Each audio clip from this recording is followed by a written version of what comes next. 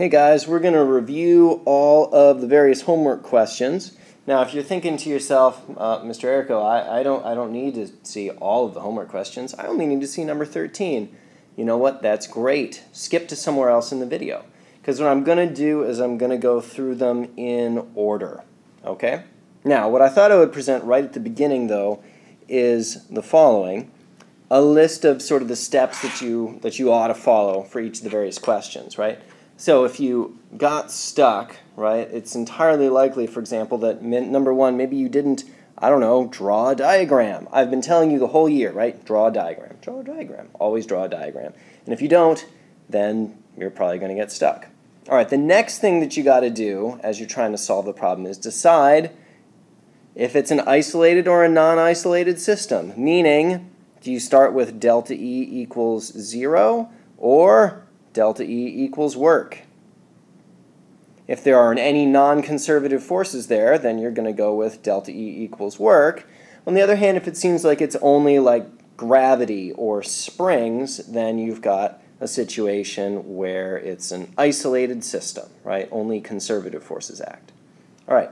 Next thing that you'd want to do is decide what types of energy exist at various positions. So you'll see me do that for each of the questions. Your options are pretty much just these three, right? Uh, if it's moving, there's kinetic energy. If it's higher than the lowest position, then there's gravitational potential energy.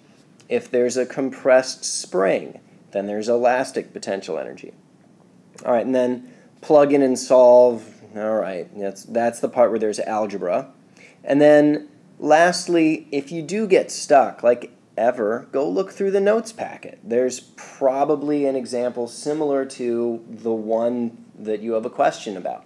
Uh, if you look through it, you may discover there's none exactly like it. That's normal. I'm not going to give you the exact same question in your notes that you're going to do in your homework, right? It's got to require a little bit of extra thinking on your part if you're going to learn something new from it. For number three, it's talking about taking a block, fairly small block, only 0.25 kilograms, and putting it on top of a 5,000 newton per meter spring. That's an enormous spring, by the way. And then it's pushed downwards, so the spring is compressed by 0.1 meters. All right, now this is not saying that if you put this tiny little block on it that it just sinks down a whole 0.1 meters. That would actually be a bit much to expect. What's going on is the spring is actually being pushed downwards with the block on top of it. So this is like a spring-loaded cannon or something like that. So if you started with, say, a spring that looked like this, that's a fantastic spring right there. All right, and then you compress it downwards, right? Push those coils together with your block on top of it, and then you release it, it's going to go flying upwards. All right, and so as it moves upwards, you know, it's, it's going to have kinetic energy that it's getting from the spring pushing it, right? Um, but eventually, all of that kinetic energy is going to turn into just gravitational potential energy. So if you had to summarize the energies at the two positions you're talking about, down here at the bottom, it has elastic potential energy. Up here at the top, it has, now if you were thinking, oh, kinetic, because it's movement, not at the very top, right? Assuming that it's firing it straight up at the very top, it's going to have a speed of zero. However, it is much higher than where it started, so it's going to have gravitational potential energy. All right, and then it wanted to know how far upwards it goes above the point of release. Point of release is way down here at the bottom, right? So they're measuring the height from here all the way up to there. Okay? All right, now this would be a more complicated question if they asked something like, what is its maximum speed, or what is its speed when it's some distance above the ground, or something like that because then you'd have kinetic energy to mix in there, right? So at any position here in the middle, it'll have some gravitational potential energy, some kinetic energy, right? But at the very top, it's only got gravitational potential energy. All right, I went a little bit out of order, I suppose, right? We were supposed to decide first, is this isolated or non-isolated? I'm going to go with probably isolated. There's not really a surface for it to rub against to you know give you work being done by friction. There's only air resistance in the way, and usually we get to ignore that. So it's going to be delta E equals 0.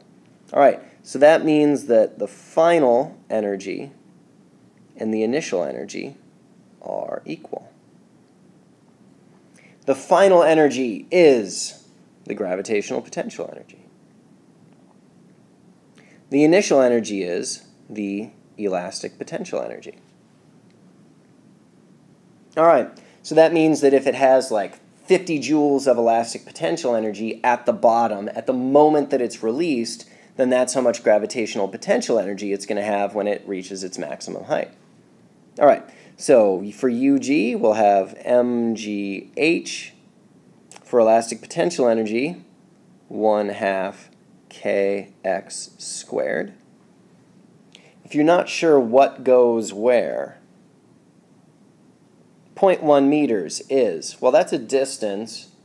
That's not the height, though, right? You're trying to solve for the height. So that's going to be your compression, right? It was pushed downwards 0.1 meters. The spring constant is that 5,000 newtons per meter. The mass is 0.25 kilograms. And of course, G is G, so the only thing you don't know is H. So assuming that you plug everything in correctly, you should be able to roll forward and get the right answer. All right, on to the next question.